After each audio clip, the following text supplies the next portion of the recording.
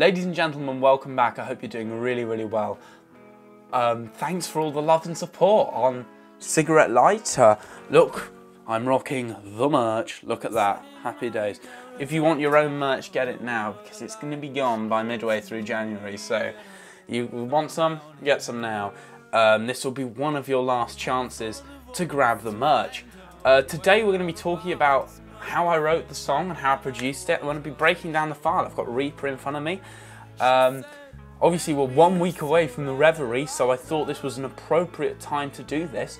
So let's head on over to Reaper and talk about what's going on. Let's go. Right, so I'm over here at Reaper now. Um, we're looking at what's going on. Um, this is the project file. It's pretty big. I think this is because this is the only project I've done solely in Reaper. It is most definitely the biggest project of any of them. So that's pretty cool. Um, so let's talk about what's going on here. So initially we start out with these guitars played um, through a, a, vibrato pedal into my amplifier, uh, which is mic'd up with this microphone stereo pair. Um, so it's this microphone, it's not this exact microphone, but it's close to. It's currently not on my amplifier because I've got a 57 on there because I've been starting to enjoy the 57 more. I don't know. It's it's a weird time for my mic preferences. You know, I used to never catch me dead putting a dynamic mic on an amplifier, and now it's kind of what I like. So, yeah. Um, it's my Gothic SG on the neck pickup into my Marshall Origin 5C and this is what it sounds like.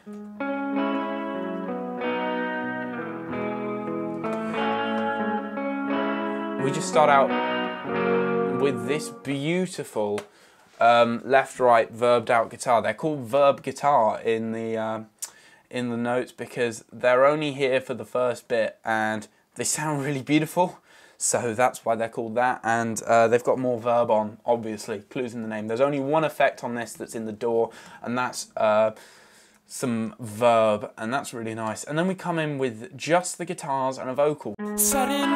Garret, and it's the intro vocal, so my vocal chain is just really simple, really, really simple. We have a gate running into some um, EQ, running into Klanghelm uh, compressor. Not very, uh, the lead vocal is different to the intro vocal because that one has more compression and less reverb. This one's got a lot of reverb and delay down on the intro vocal bus down at the bottom. So that's pretty cool. Um, so yeah, we just start out with these. And then halfway through, Faemi pad in along with bass. Such a pair beautiful. Um, it, it, Faemi, the synthesizer is just beautiful. It sounds like a Juno just broken. Uh, sounds like what someone threw a, a, Juno off a building and put it in a gunmetal casing, and now it's in my studio, so I love it. Um, sounds like that, and then going into the chorus. Instantly, we have these uh, left-right doubles still on the intro vocal, just sounds really pretty. And then we've got real violin and viola. So two violin tracks, two viola tracks played by me uh, using, sorry, using that beautiful, those beautiful instruments up there. Was feeling a little festive. Obviously, we're one week away from Christmas-ish. Like, well, no, when I'm recording this, we're one week away from Christmas. It's going to be nearly Christmas when this comes out. Um, we've got tinsel on the violin and viola. Look at that, us feeling festive. Uh, that's the only bit of decoration in this room, so hi ho. We're not doing too badly, could be worse. Um, but yeah, violin and viola, just play these.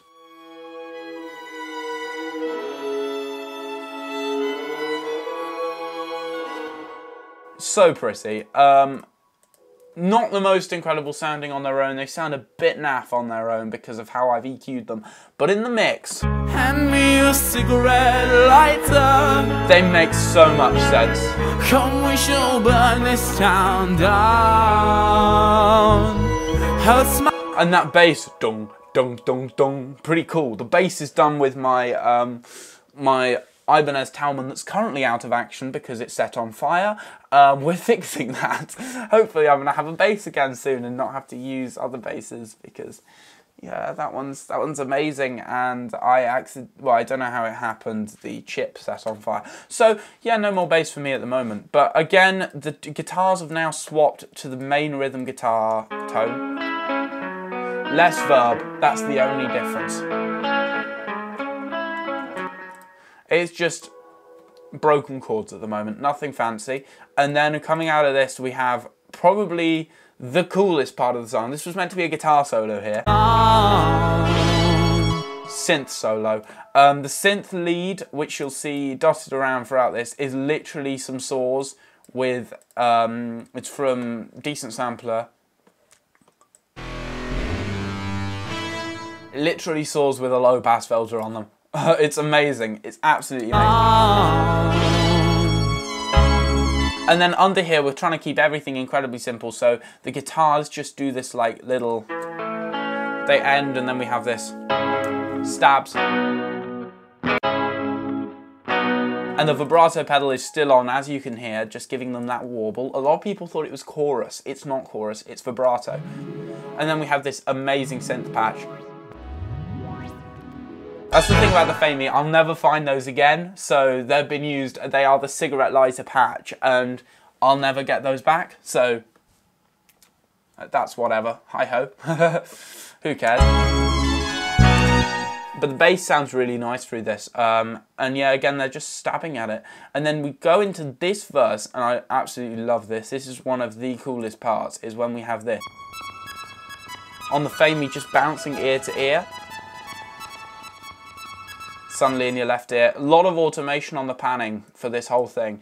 Uh, synth pad here. Again, that's just me sat holding a chord and then like bouncing the, um, I've tuned the, um, the filter so that when I turn up the resonance, it'll bounce to the correct root note. So we have that dum ka, dum ka, dum ka. It's really cool. And then we bounce the, um, the offbeat um, like thing around uh, again, we're still with the uh, SG at this point.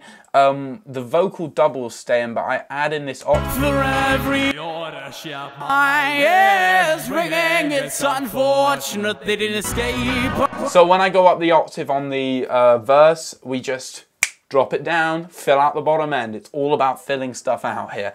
And then the synth lead does this little like, very cool. And then there's this NS10 patch that just does that. Very cool. Um, obviously, I don't own an NS10, that's a digital synthesizer. But the coolest part of this entire song is when we drop into this chorus. You can hear that little. It's just moving the oscillator. It's incredibly cool. I love my, my Faemi. Uh, so yeah, we hit this chorus. First big thing is when we listen to. It has taken us a minute and 23 seconds to get vocal harmony. Uh, but finally... Cigarette Lighter. Beautiful. Um, also, we've swapped guitars. That's not my Gothic SG, that is my uh, Esquire that I currently don't have. Um, Sastra has that. Um, yeah, Sastra currently has the Esquire. It's got some problems with it at the moment I need to fix. But um, there's nothing like a bare knuckle P90 that is way too hot for uh, any um, good, sensible um, amp to cope, to the point that I don't think I'm using any pedals, maybe a bit of boost, but that's the natural dis distortion coming out of my Origin 5C, so yeah, because tube tube amps don't go well with that guitar unless you want distortion. Then they go really well. Um, you can't get a clean tone with that guitar. I've tried and failed. It's always edge of breakup or a bit more, normally a bit more. But um, if you want any sort of volume, it's got to have some sort of distortion. I'm yet to be able to find an amp that copes comfortably with giving that uh, a clean tone. But works incredibly well here. And drums, we just hit it off immediately with Steven Slate drums. I love Steven Slate. Uh, the Steven Slate drum uh, synth is or sampler is incredibly useful because I played all these on a digital kit um, because I knew I'd need some drums at some point. So I thought, let's get ahead and make some drum samples. Anyway, long story short, I now have drum samples. Um, some drum grooves and that I just put on um, MIDI uh, because I really struggle with programming drums because I'm a musician, not a not a computer technician. So I don't know, take that how you will. But this does this and it sounds really cool. Perfect drums for this. I wasn't planning that, but came out whatever. Um, then we got this lead. There's something you'll notice. Uh, at this point, I was really into soloing on my synthesizers, so this is a really synth-based song. I think it's probably the most synth-based, even though you can't hear a lot of the synthesizers. You can hear like a couple bits, but it's like, it sounds more guitar y, but it really isn't. Now for the coolest part of the entire song, we drop down into the bridge. Again, left monitor on the guitars, sounds so nice. Um,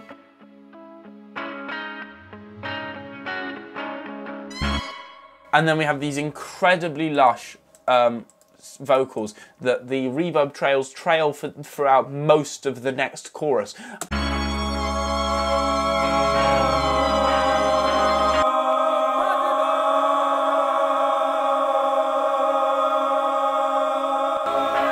It sounds like you're. God damn it! It sounds like you're in a warehouse and you just hear oh, it's amazing. Again, it's just three vocal tracks stacked, um, and it's me. Uh, um, yeah, very cool stuff. And then um, again, we've got this NS10 thing I'm calling Synth Fade that does that. Very cool. Uh, we've got these synth pads, Faemi, that bounce monitors halfway through. And we just have these guitars doing these little like stabby things in the left monitor, which is pretty cool. I really like um, these. And the right monitor's just like long, big, lush chords. It's really nice. And then we move on to the final chorus, which just starts with this. She said. And again, we now have more vocal harmony. All of the red things are vocals. Uh, so here, just. She said, Hand me your cigarette lighter. That's all the chorus. So this is double chorus. So for the first chorus, we just have that. Hand me your cigarette. But for the second one, honey, come let's burn this town down. She just looked like a viper, but I wasn't. If I just solo out these ones.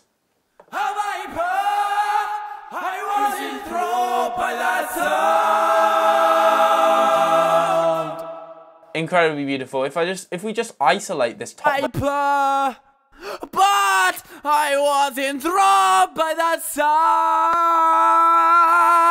I'm frying it so hard, I'm, I'm nearly dying. I think I sang that line like so many times to try and get it right. As you can see, it's nearly all one take, apart from there's a little cut here. Her looks were that of a viper. But it's so distorted and gritty in the throat, so this was actually really difficult to record for me. But I was enthralled by that sound. Hand me your cigarette lighter, honey. Also, with me being a natural baritone and that being more in an alto's range, it was quite difficult. Um, I don't know why I write all my music incredibly high. I just clearly hate myself. Um, so yeah, pretty cool parts here. All but I was in enthralled. Especially these last two notes up here at the top octave. It is incredibly high. Um,